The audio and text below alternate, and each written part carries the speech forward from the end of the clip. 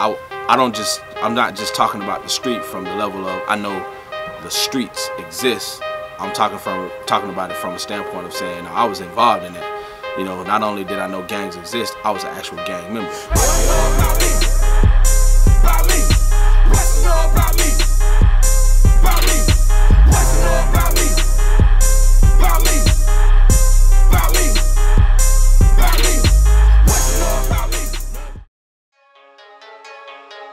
Growing up in Camden, uh, I remember having about uh, 14,000 people here. Very small town. Everybody knows everybody.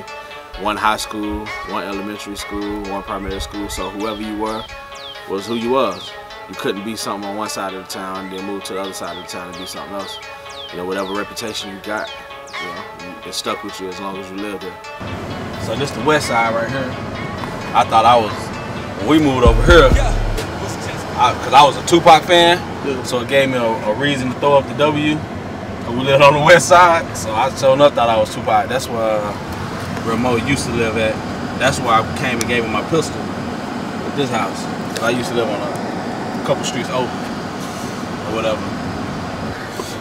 This, this used to be the street right here. Tion used to live right here. Yo, we were all Crips. My homeboy Colin used to live right here. This used to be the hangout spot. Everybody used to hang here. Right here where uh, Sterling used to live. I remember I had surgery on my wrist, on my wrist right here, and I had this cast on, and we was balling, and him and my homeboy Colin got into this fight, and he was about to beat Colin up, so I jumped in and, and I hit him, wow, and then he was, oh, that's messed up, Tony, man, that's messed up.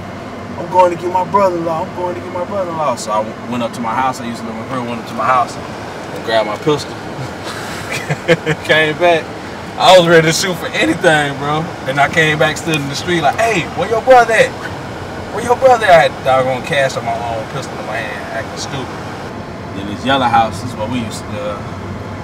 My grandma, this is why I live with my grandma right here. I wonder if I go over there, they'll let us in. What y'all think? Yeah, go ahead. Knock and see.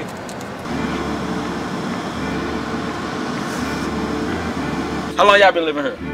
Man, we've been here probably, ew, probably nine, 10 years. Did I did it have the, uh, the flower bed right here in the window? There used to be a flower bed in the window. Probably, I probably cut it. yeah, you probably did. I had I had uh, uh back then, you know, had marijuana sweet seed. I put it in the flower bed. That mother started growing. My grandma panicked. it started growing right there, bro. Like, yeah. We used to, he used to live. Remember y'all lived down yeah. here? He used to live on this street right here.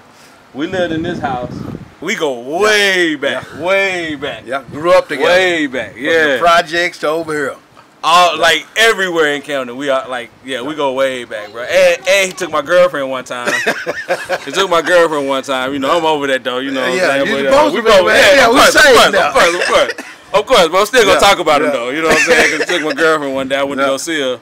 And she broke up with me, and then I saw him in the cut at Ivor Heights, looking at me walk off sad. You know what I'm saying? Then I learned he had took my girlfriend. But you know, nah, this is my dude, man. Yeah. Rod Ussy, man. Yeah. Now it's funny because you come back and it's a lot smaller than 14,000 now. It's probably about 10, 9 to 10,000. You know, a lot of the buildings have been boarded up. It's like one big ghetto. You know, you definitely have areas where you have people who have a little money and they live kind of comfortable, but for the most part, the rest of the city, you know, lives in poverty. You know, at school, I was the trouble kid. I was the one that was always fighting, always cussing out his teachers, always getting kicked out of school. I was that kid. One day, she, I got my Walkman taken, went to the office to get my Walkman, and they wouldn't give it to me, so I got upset. And I remember her walking in the office, she's like, oh, what's, what's the matter? What y'all do to Tony, though, this and that? And I'm mad. And so she was trying to calm me down, and she grabbed me. And when she grabbed me, I remember snatching my hand away. When I snatched my hand away, I think she got offended. Said something to the effect of, well, if I grab one of your teachers, you kick me out of school. And so she, she closed the door behind her and she's like, let me tell you something. You grab me, your mama gonna be carrying you in a box. My first encounter with Tony was when I first saw him, I thought he was a demon out to get me. And I used to discipline him, even though I was scared to death of him. I would just walk up right up to him in his face, shaking in my boots. But I had to tell him, how it was, and he was either going to do it my way here or no way.